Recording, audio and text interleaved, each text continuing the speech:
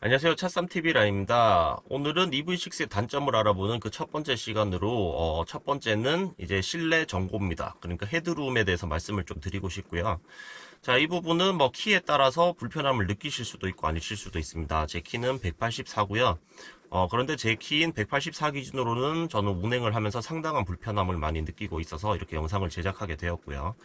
어, 키가 크신 분들은 조금 참고가 되시는 영상이 아닐까 싶습니다. 그러면 오늘의 영상 한번 시작해 보겠습니다. 자, 1열 같은 경우도 헤드룸은 넉넉하지만, 어, 문제가 있습니다. 자, 헤드룸을 보시면, 그래도 거의 한 2, 3cm 정도 제 기준으로 남아요. 어, 뭐, 운전하는 포지션인데, 일단 전방 시야가 안 나오죠. 지금 보시면 유리의 끝부분이 여기입니다. 자, 여기에요. 그래서 제 시야를 보시면, 자, 눈이 갈 수 있는 부분은 여기까지예요. 거의, 뭐, 유리에서 한 2, 3cm 정도 내려온 정도죠. 자, 이렇게 되면 신호등을 볼 수가 없죠. 적어도 유리가 한 여기 정도의 위치를 해 있어야지 어, 볼 수 있는데, 그런데 이 유리 길이가 짧아요. 그래서 원래 보통은 여기까지는 와줘야 되는데 지금 유리가 여기에 있다 보니까 어, 헤드룸이 그렇게 넉넉하지 않고 유리도 짧다 보니까 일단 신호등이나 이렇게 상부의 물체를 보려면 뭐 상당히 쉽지 않죠. 예를 들어서 제가 위에 신호등이 있다고 본다고 치면 적어도 자, 이 정도까지는 제가 이렇게 봐줘야 됩니다. 그래서 이 차량을 타면서 신호 바뀐지 몰라가지고 뒷차에서 빵빵거리는 경우를 상당히 많이 겪고 있어요. 그래서 좀 불편하고요. 자, 이 부분은 일단 개선이 안 되죠. 일단 이 차량은 앞으로도 이 모양으로 나올 거기 때문에, 어, 그런데 이 유리, 어, 길이가 좀 더 길어졌으면 좋겠어요. 길어졌으면 좋겠고, 이 roof line 자체도 뭐 개선할 수는 없겠지만, 지금 뭐, 운전석에서는 답답할 수밖에 없는 구조입니다.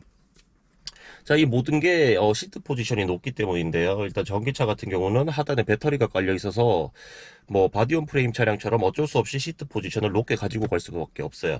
그런데 뭐 이 차량 같은 경우는 뭐 전비라든지 아니면 뭐 롤링, 피칭, yawing 뭐 이런 부분 억제 때문에 또 전고도 그렇게 높게 가지고 갈 수가 없잖아요. 그렇다 보니까 어쩔 수 없이 실내의 전고를 희생한 것 같습니다. 그러면서 운전자는 조금 답답한 상황에 처하게 된 거고요. 물론 키가 조금 작거나 여성 운전자 분들이시라면 뭐 크게 문제는 없을 수도 있습니다. 예를 들어서 자, 이 정도까지 내려간다면 그나마 괜찮아요. 그런데 이제 180 이상이신 분들 그리고 뭐 해외에서 계약이 많이 된다고 하는데 외국인들이 타면 외국 가면 저가 이제 평균 키 정도밖에 안 되니까요. 그런데 상당히 불편할 것 같아요. 어, 일단 공간 자체는 좁진 않은데 이 헤드룸과 이제 전방 시야가 상당히 안 좋은 점. 이게 1열의 문제점이고요. 자, 2열로 왔습니다. 자, 딱 보시기에도 제가 좀 상당히 불편해 보이죠. 일단 등받이 각도는 그냥 평소 정도의 세팅입니다. 그런데 헤드룸을 보시면 없어요. 제 머리가 닿습니다. 어, 닿는 상황이고, 일단 상당히 뭐 이 자체로도 불편하죠.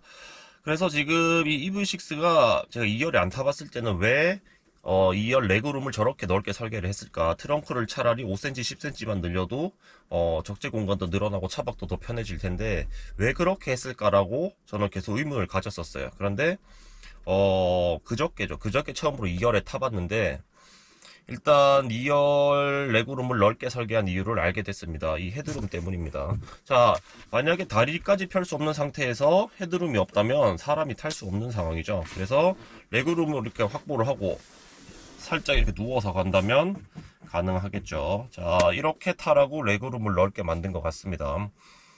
자, 그런데 일단 뭐 상당히 불편해요. 예를 들어서 이걸 좀 더 눕혀 볼게요. 자, 눕히면 되지 않느냐고 말씀하시는 분들이 계실 것 같은데 자, 눕히면 더 심해요. 왜냐하면 이 루프라인 자체가 뒤로 갈수록 급격히 떨어지잖아요. 그러니까 눕혀버리면 그냥 목을 펼 수가 없는 상태입니다.